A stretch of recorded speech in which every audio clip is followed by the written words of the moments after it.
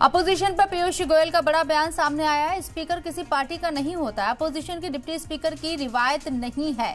पीयूष गोयल ने इस बात को वाजे किया है और अपोजिशन बार बार इस बात का ज़िक्र कर रहा है कि अगर यहाँ स्पीकर के डिप्टी स्पीकर अगर अपोजिशन से बनाया जाता है तो स्पीकर के नाम पर आम सहमति बना सकता है। इंडिया ब्लॉक ये बात बार बार कही जा रही है। पीयूष गोयल ने इस बात को सिरे से नकार दिया है कि डिप्टी स्पीकर को लेकर अपोजिशन का ही नाम सामने आएगा। ऐसी कोई रिवायत नहीं है। अध्यक्ष उपाध्यक्ष कौन होगा वो पहले तय करें फिर अध्यक्ष के लिए समर्थन मिलेगा।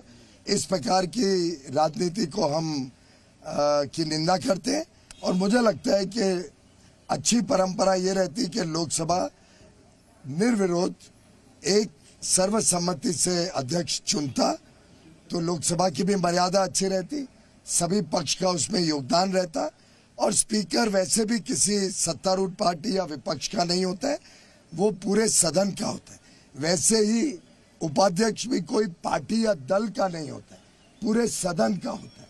और इससे उसमें सदन की सहमति हो ऐसे शर्तों के आधार पर कि किसी एक पर्टिकुलर व्यक्ति या पर्टिकुलर पक्ष का ही उपाध्यक्ष हो वो लोकसभा की कोई परंपरा में नहीं बैठता धन्यवाद।